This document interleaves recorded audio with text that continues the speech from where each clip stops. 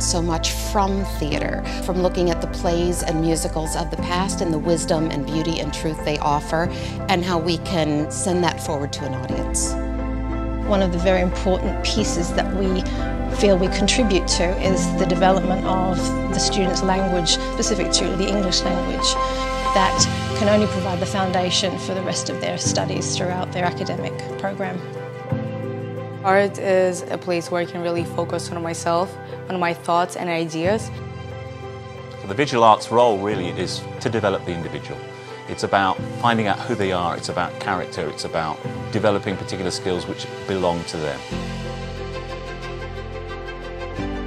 Performing arts is a way for me to express myself. I love it because it's many adventures piled into one with all the fun characters you get to play and all the extravagant ideas that you get to portray.